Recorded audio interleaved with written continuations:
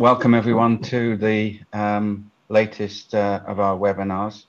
Uh, I'm Tony Roskilly from uh, Durham University and uh, this is, event is organized by the EPSRC network H2 uh, for hydrogen fuel transportation, which I lead.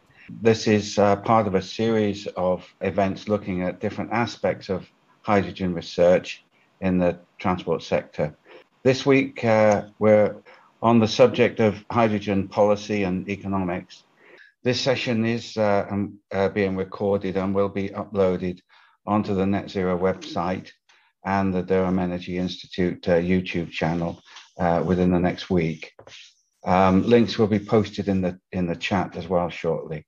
Many thanks for your support and interest in this area. Do get in touch with, uh, if there are any other suggestions or feedback that you can give us in terms of the seminar speakers, subjects, etc.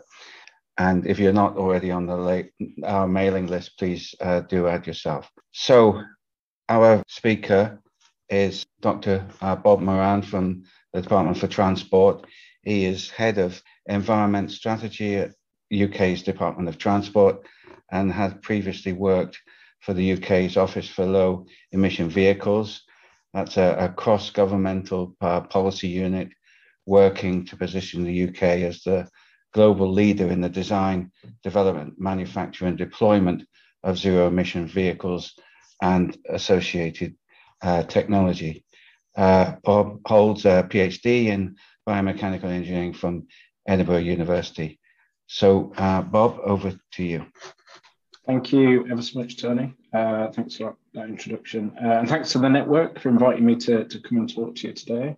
Uh, I'm going to try and give you a kind of transport decarbonisation and hydrogen perspective, uh, looking unashamedly at the transport decarbonisation plan that we published recently uh, and the hydrogen strategy as well. But I'm anticipating an awful lot of questions from you uh, and I hope that they will be challenging, but I also hope I'll be able to answer them. I'm just going to talk today. I don't have any slides. It certainly couldn't compete with the fantastic network H2 backgrounds that we can see uh, on display. So hopefully I'll be able to, to, to keep you uh, uh, keep your attention. Okay, so yeah, as I mentioned, then so we're about a month on from the hydrogen strategy publication and two months on now from the uh, transport decarbonisation plan, which was published in in July, and what ministers uh, have described as our green print, really, for decarbonisation. Now, things are never things are never stable for too long. So the minister responsible for that uh, left yesterday and has moved to the Home Office. So we've got a new minister that we're getting to getting to grips with today. Uh, so I'm looking forward to bringing her up to speed uh, with with where we've got to uh, and what's looking and what we've got on. Uh, you know, in the in the immediate future. Um, broadly speaking, I think ministers uh, and, and the team here at DFT and across government are, we're still pretty pleased with the with the publication of the plan and the content. Uh, we're delighted to have got it published ahead of COP26, which is quite frighteningly just six weeks away now. Um, I remember all too well when we were thinking about putting in a bid to host COP26, uh, which was a few years ago now. Um, and of course, we had the inevitable delay last last year. Uh, so yeah, so we did put a bid in. Uh, you know, we won it, uh, but then we had the, the inevitable delay last year. Uh, but now it's literally we're just a few hours away. Um, it's such an important moment. It's a crucial moment, in fact. You know, to to really test test the UK. Let's be honest, to test the UK's commitment, uh, but also the global commitment to to really tackle uh, the problems uh, along the way. That along the way bit is really crucially important. It's vital. It's not just about 2050. Every gram counts now, as I'm sure you know, the science isn't in dispute any longer if it ever was. We can see all around us here in the UK, uh, you know, the impacts that climate change is already having on us. Um, so it's not just on us to deliver the plan as we've set out. That should be the bare minimum effort. Actually, we should be turbocharging the things that we've set out uh, in the in the transport decarb plan. Um, if you're if you're here now over lunchtime, you know, as part of this network, then I'm sure that you're following the net zero debate in in the press as it's been over the last few weeks and, and months. And I'm sure it's going to heat up, uh, you know, in, as we run up to COP. Um, and you'll know just how difficult this is across the entire economy to deliver this. It's technically difficult, um, but it's su- supremely politically different as well. Um, but what I, what, I always try to do, um, I think it's okay to be scared sometimes when you when you look at the news and, and worry. Uh, but I always keep in my mind that decarbonised transport is actually more efficient transport. Uh, it's less harmful transport, and is ultimately better transport for people. And so I keep that in my mind uh, when when I, you know to make sure that we uh, keep on track uh, and keep everybody uh, heading towards the same goal. Um, you know, decarbonised transport can can improve air quality from today's levels. It can cut noise pollution. Uh, it can cut congestion. We can use it to cut congestion. We can improve the health of the nation as well if we get this right. And of course, really importantly, uh, to the government's levelling up agenda, uh, yeah, we can we can create jobs. We can create new uh, green, uh, high quality jobs. Um, the cost of inaction, I think let's let's put this on the right. The cost of inaction is far higher than the cost of, of sorting this out now. Uh, and I don't I don't take the view that it is too late any, uh, I don't, don't share that view. So I just want to run through a bit of the transport decarb plan and, and then finish off with some specifics around, around kind of hydrogen. Um, so let's start with roads. Uh, you know, that's the biggest chunk of carbon emissions uh, that we've got in transport, 90% in fact. Um, I never held the view that electric cars alone were going to save the world, let alone save the UK. Um, so we've now got a 2040 backstop, as announced in the in the plan, for, for the sale of all road vehicles, all polluting new road road vehicles. Uh, by polluting, I mean tailpipe emissions in that context. It's the first time any country has set that out, and I'm really delighted that we've been able to do that ahead of ahead of COP26. The strongest platform that we can build uh, as we ask others to do more is to is to rep represent ourselves as uh, as being the very vanguard of, of ambition around this. Um, so we're talking about the smallest moped to to the largest truck. There's nobody left out. Uh, the backstop's 2040 for absolutely everything. Um, but but clearly uh, some markets and some vehicle segments are, further forward than, than others. Uh, so cars and vans, for example, all new cars and vans sold in the UK uh, will be fully zero emission at the tailpipe by 2035. It's hugely ambitious, it's not that far away, uh, but it's fundamental. And if we can't do that, then we can't decarbonise transport, frankly. But already, after bringing that date forward from 2040 to 2030, we're seeing new investments already being sparked here in the UK, whether it's in EV uh, production, uh, announcements at Ellesmere Port, for example, and in Nissan as well, or whether it's battery production. Uh, and those, those announcements come with jobs, uh, which is fantastic.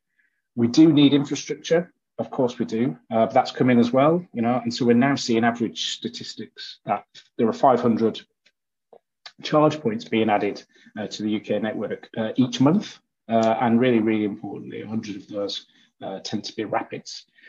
Now, 2040 as a backstop, you know, may, may not sound, depends on your perspective, but uh, it might not sound uh, like a long way away. Uh, but let's come on to hydrogen. Let's talk about trucks. You know, we don't yet know whether trucks are going to need hydrogen refueling stations or whether they're going to need rapid battery chargers or overhead wires, perhaps, uh, or whether they'll actually actually need to rely on a network of all three.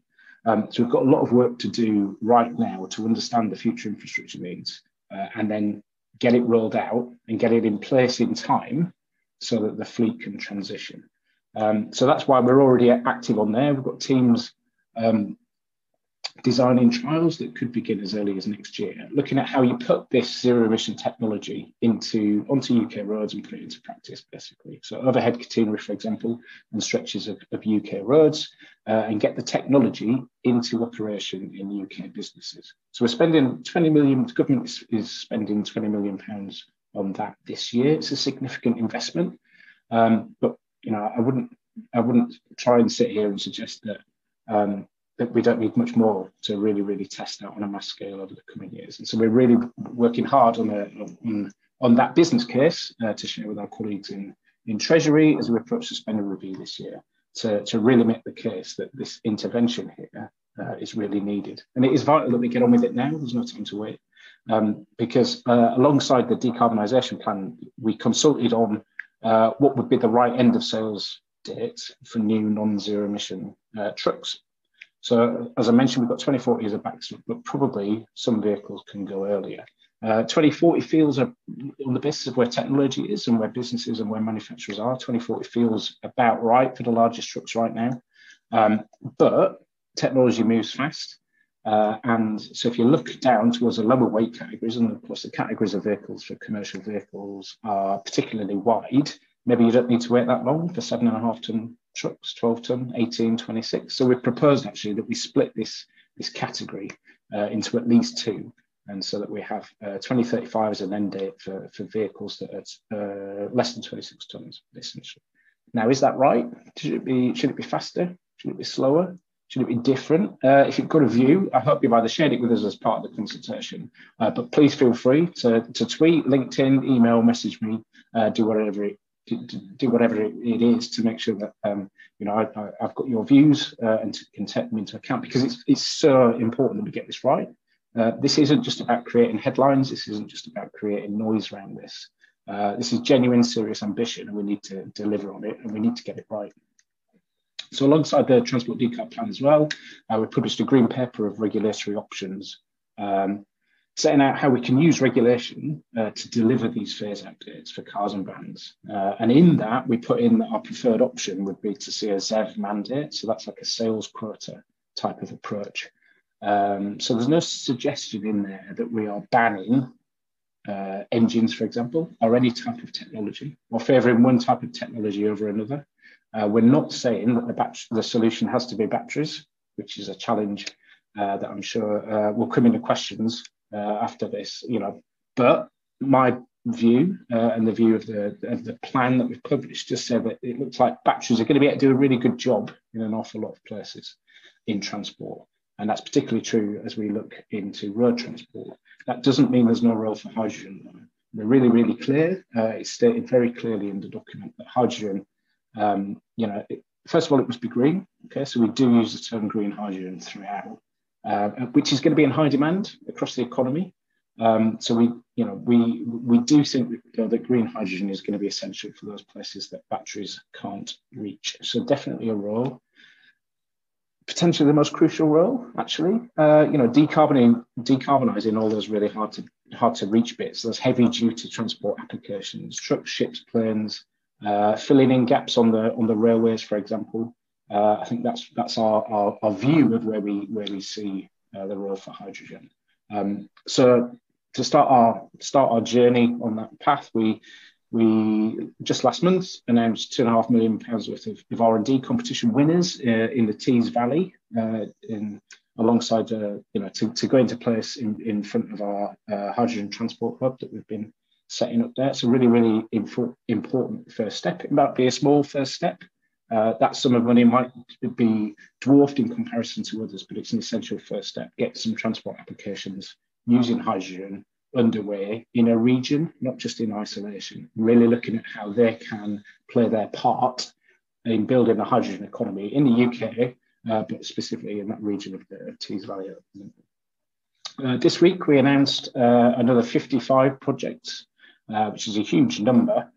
Um, on, on maritime, it was uh, London International Shipping Week, which very much had a, a green uh, emphasis on it this time. Uh, but many of those projects are looking to use hydrogen uh, as part of their as, as an energy carrier and as part of the propulsion system. So if you haven't seen that or checked out some of those projects, uh, they're absolutely fantastic. Um, even though we obviously even though I'm here talking about to to use the hydrogen network, then uh, you know I just wanted to put in a couple of other points around the transport decarbonisation plan. Really, uh, a key key theme in that is moving people away from cars and onto public transport um, as well as encouraging people uh, or supporting people to make a lot more of the shorter journeys uh, by using active travel, so cycling or walking. Um, that's that's really a vital key to, to unlock improvements in congestion, as well, of course, as delivering uh, for the climate uh, and the wider environment. Uh, what that will do is that will leave more space on our congested roads for those that actually need to actually need to drive and actually need to use them. Um, so, so the decarb plan does come with restatements of uh, pretty significant investments uh, in cycling and walking, uh, two billion pounds for cycling, uh, for example. And over the last 12 months, in just the last 12 months, we've got, we've got, I think we've registered over 300 infrastructure, new infrastructure projects, putting in safer space for cyclists uh, just in the last 12 months, which is really, really good, and we're really, really proud of. Uh, big investments in buses too. Uh, not technology specific, so hydrogen battery, but you know uh, the key really is uh, zero emission. So there will be 4,000 new zero emission buses hitting the UK roads in the next couple of years. But beyond that, this is not just a technology challenge. Uh, it, coming with that comes a pledge to reform the industry, essentially. Uh, we can't ask people or, or, tell people to, to use buses unless they're more reliable, unless they're more frequent, uh, and unless, frankly, that it's, it's, a more modern service that, that, that you are being offered. Um, so it's important that we get that aspect right as well. And I think as I start to kind of uh, wrap up on my thoughts, uh, a challenge often uh, put to, to me, uh, and certainly definitely to uh, ministers when we talk about climate change and net zero and decarbonisation, is that we are technology optimists. Frankly, I don't mind that, to be honest, and I sit here and I'm reasonably comfortable with it. Um, I think the prospects for developments in clean technologies between now and 2050 are, are, are huge. Uh, and crucially, in transport, we, we're, we're, lucky, I feel, because you know a lot of the technology that, that we are going to rely on, we already know about. We don't need to reinvent batteries. Uh, we've got really good prospects now in the UK with the hydrogen strategy for green hydrogen uh, to come and fill in the gaps where hydrogen needs to, to play a role. Certainly, this is looking from a transport perspective. Hydrogen clearly has a wider role to play across the wider economy. Um, so as well, you know, filling in those gaps, but also, you know, as I've said, in the bigger applications, the heavier transport use cases such as aviation and, and maritime, uh, which can, you know, which can get to zero. Let's uh, let's let's drop the net bit for a little while. They can these technologies can get us to zero, and they can get us there by 2050. That offers us a huge opportunity. Uh, we're so good at this technology. We're so good at, at, at, at uh, innovation, you know, uh, and these are truly global markets that we're potentially going to be able to co- not just compete in, but to lead. Um, so to, to, to, generally round up now, you know, every gram of carbon counts, so we can't just wait until 2050. We do need to see behaviour change alongside all of this, and I think for me that's the bigger challenge as we look to a decarbonised transport system. The cha- it's a bigger challenge than delivering sufficient volumes of green hydrogen, uh, or the improvements that we would like to see in battery performance as well. Uh, so with that, I think I will close and say, you know, this this plan. Uh, I hope you've had the opportunity to to, to look at it, uh, to read it. Hopefully, uh, it is a bit lengthy, but uh, hopefully it's a good read. Um, but this is the very very first step, um, and it's really important that we keep our plans as as we've laid out under review checking that we are in line with what's not just needed across transport, but making sure that transport is playing its full part uh, in line with the rest of the economy and understanding what happens uh, in other areas of the economy. Um, okay, so and it's really important that we, uh, yeah, keep on top of it. But as I said at the start, kind of turbocharge our efforts uh, to decarbonise transport. So that was all I wanted to. Those were all my key points so far. I hope that was okay, interesting, uh, relevant. I hope. I, as I said, I'm really looking forward to some some tough questions. Thanks, Bob.